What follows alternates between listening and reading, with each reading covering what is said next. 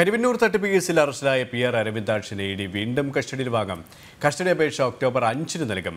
അരവിന്ദാക്ഷന്റെ ജാമ്യാപേക്ഷ പത്തിന് പരിഗണിക്കും. അതേസമയം തൃശൂർ സഹകരണ ബാങ്കിൽ വിളപ്പായ സതീശൻ നടത്തിയ നിക്ഷേപങ്ങളെക്കുറിച്ച് അറിവുണ്ടായിരുന്നുവെന്ന് bank president C P M സംസ്ഥാന കമ്മിറ്റി യോഗമായ എം കെ കണ്ണൻ പ്രതികരിച്ചിരുന്നു. ഇവരുമായി ജിജീഷ് കരുണാകരൻ ചേരുകയാണ്. ജിജീഷ് കൂടുതൽ കൂടുതൽ നേതാക്കളിലേക്ക് ഉന്നത നേതാക്കളിലേക്ക് കാര്യങ്ങൾ എത്തുകയാണ് സി പി എം നേതൃത്വം അപ്പാടെ പ്രതിരോധത്തിലാകുന്ന ഒരു സാഹചര്യം. അതായത് എം കെ കണ്ണിലേക്കും പി ആർ അരവിന്ദേഷിലേക്കും മാത്രമല്ല അതിന് മുകളിലുള്ള സമുന്നതരായ സി പി എമ്മിന്റെ നേതൃത്വത്തിലേക്ക് കാര്യങ്ങൾ എത്താനുള്ളൊരു സാധ്യതയുണ്ട്. ഇത് ഇത് ഈ വീണ്ടും കസ്റ്റഡി അപേക്ഷ ഇ ഡി നൽകുന്നത് ഈ ഒരു സാഹചര്യത്തിൽ കൂടിയാണല്ലേ?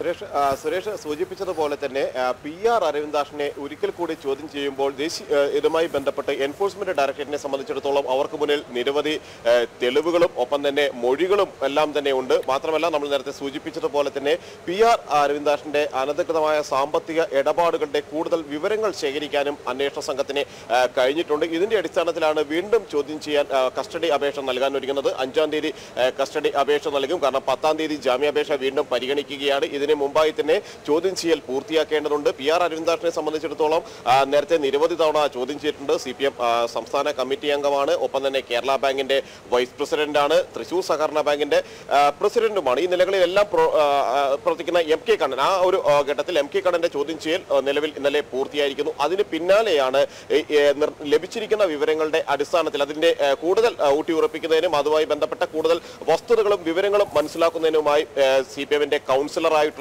ആ, മുതിർന്ന നേതാവും തൃശ്ശൂരിലെ മുതിർന്ന നേതാവുമായ പി ആർ അരവിന്ദാഷിനെ ഒരിക്കൽ കൂടി ചോദ്യം ചെയ്യാൻ ഒരുങ്ങുന്നത്. കാരണം പി ആർ അരവിന്ദാഷിനെ സംബന്ധിച്ചിടത്തോളം കരുവന്നൂർ സഹകരണ ബാങ്കിൽ അൻപത് ലക്ഷം രൂപയുടെ ഒരു നിക്ഷേപം നടത്തിയിരിക്കുന്നത് ഏറ്റവും പ്രധാനപ്പെട്ട പ്രതിയായിട്ടുള്ള പി സതീഷ് കുമാർ വഴിയാണ്. ഈ കരുവന്നൂർ സഹകരണ ബാങ്കിന്റെ ബാങ്ക് തട്ടിപ്പിന്റെ മുഖ്യ ആസൂത്രകനായി കണ്ടെത്തുകയും അറസ്റ്റിലാവുകയും ചെയ്ത പി സതീഷ് കുമാറാണ് ഈ അരവിന്ദാഷിന് വേണ്ടി അൻപത് ലക്ഷം രൂപയുടെ നിക്ഷേപം നടത്തിയിരിക്കുന്നത്. പിന്നീട് ഇരുപത്തഞ്ച് ലക്ഷം രൂപയുടെ നിക്ഷേപം നടത്തിയിരിക്കുന്നത് മറ്റൊരു പ്രതിയായ പി പി കിരണാണ് അങ്ങനെ അതോടൊപ്പം തന്നെയാണ് ദുരൂഹമായ നിരവധി സാമ്പത്തിക ഇടപാടുകൾ കൂടി ഈ അരവിന്ദാഷൻ നടത്തിയിട്ടുള്ളത്. മറ്റൊന്നെന്ന് പറയുന്നത് അറുപത്തിമൂന്ന് ലക്ഷം രൂപയുടെ ഒരു നിക്ഷേപം അമ്മയുടെ പേരിൽ അതായത് തൊണ്ണൂറ് വയസ്സുള്ള അമ്മയുടെ മറ്റു വരുമാന മാർഗങ്ങളൊന്നും കാണിക്കാനില്ലാത്ത ആയിരത്തി അറുന്നൂറ് രൂപ കാർഷിക പെൻഷൻ മാത്രം വരുമാനമായുള്ള അമ്മയുടെ അക്കൗണ്ടിലുള്ളത് അറുപത്തിമൂന്ന് ലക്ഷം രൂപയാണ്. ഒപ്പം പി ആർ അരവിന്ദാഷിന് ഒരു എൺപത് ലക്ഷത്തിലധികം രൂപ ഭാര്യയുടെ പേരിലുള്ള ഭൂമി വിറ്റതിലൂടെ ലഭിച്ചിട്ടുണ്ട്. നിരവധി ഭൂമി ഇടപാടുകൾ വിദേശ വിദേശത്തുള്ള എൻ ആർ വേണ്ടി നടത്തി വൻതുക കൈക്കലാക്കുകയും ചെയ്തിട്ടുണ്ട്. എന്നാൽ ഈ ഒരു ഘട്ടങ്ങളിൽ ഒന്നും തന്നെ ഇത് വെളിപ്പെടുത്താൻ ഈ സാമ്പത്തിക സ്രോതസ് ഒരു ഘട്ടത്തിലും വെളിപ്പെടുത്താൻ പി ആർ അരവിന്ദാഷൻ തയ്യാറായിരുന്നില്ല. ഈ ഒരു സാഹചര്യത്തിലാണ് കഴിഞ്ഞ ദിവസങ്ങളിൽ ലഭിച്ച മൊഴികളുടെ കൂടി അടിസ്ഥാനത്തിൽ കാരണം കഴിഞ്ഞ ദിവസം ബിനുവിനെ ചോദ്യം ചെയ്തു തൃശൂർ ബാങ്ക് സെക്രട്ടറി ആയിട്ടുള്ള ബിനുവിനെ ചോദ്യം ചെയ്തിരുന്നു. ഒപ്പം തന്നെ രണ്ട് മുൻ ഡിവൈഎസ്പിയെ ചോദ്യം ചെയ്തു.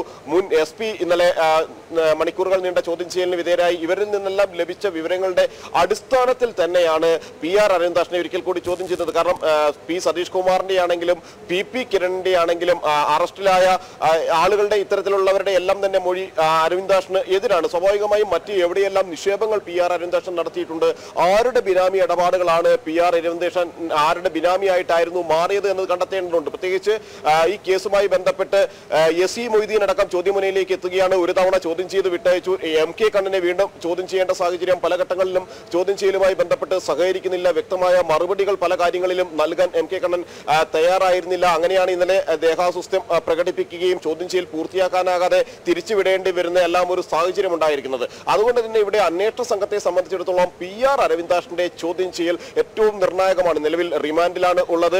കസ്റ്റഡിയിൽ ആവശ്യപ്പെടുന്നു. ഇരുപത്തിനാല് മണിക്കൂർ മാത്രമാണ് നേരത്തെ കസ്റ്റഡിയിൽ ലഭിച്ചിട്ടുള്ളത്. അതായത് അറസ്റ്റിന് ശേഷം ഇരുപത്തിനാല് മണിക്കൂർ മാത്രമാണ് കസ്റ്റഡിയിൽ ലഭിച്ചിട്ടുള്ളത്. പല ഘട്ടങ്ങളിലും എം കെ കണ്ണനെ പോലെ തന്നെ ചോദ്യം ചെയ്യലുമായി നിസ്സഹകരിക്കുകയും ചോദ്യം ചെയ്യലിൽ കൃത്യമായ മറുപടികൾ നൽകാതിരിക്കുകയും ചെയ്തിട്ടുള്ള ആൾ തന്നെയാണ് പി ആർ അരവിന്ദാഷനും അവിടെ തെളിവുകളും അതിനുശേഷം ലഭിച്ച മൊഴികളും അടിസ്ഥാനമാക്കി ചോദ്യം ചെയ്യൽ മുന്നോട്ട് കൊണ്ടുപോകേണ്ടതുണ്ട്. ഈ ഒരു ഘട്ടത്തിലാണ് അരവിന്ദാഷിന്റെ ചോദ്യം ചെയ്യൽ ഒരിക്കൽ കൂടി കസ്റ്റഡി അപേക്ഷ നൽകാനൊരുങ്ങുന്നത്.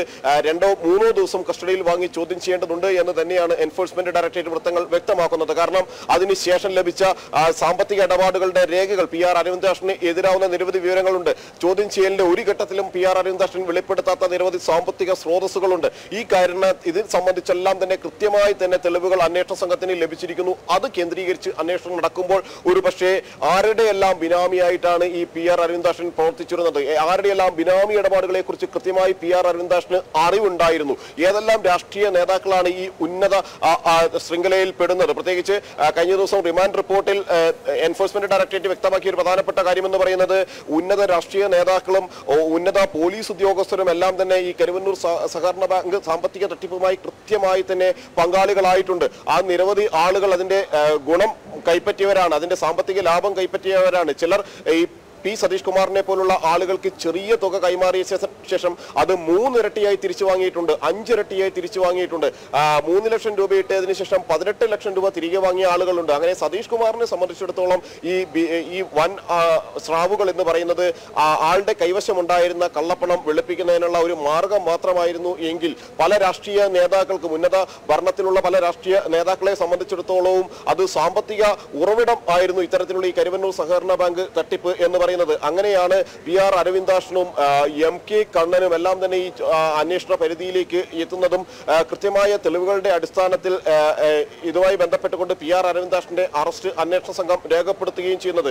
സ്വാഭാവികമായും ഈ തെളിവുകൾ മുൻനിർത്തിയാണ് കോടതിയിൽ കഴിഞ്ഞ ദിവസം അടക്കം ഈ തെളിവുകളായിരുന്നു പ്രധാനമായും മുൻനിർത്തിയിരുന്നത്. എൻഫോഴ്സ്മെന്റ് ഡയറക്ടറേറ്റ് സൂചിപ്പിക്കുന്നത് പി ആർ അരവിന്ദാഷൻ പല ഘട്ടങ്ങളിലും സ്വന്തം അക്കൗണ്ടിന്റെ വിവരങ്ങൾ പോലും വെളിപ്പെടുത്തിയിട്ടുണ്ടായിരുന്നില്ല.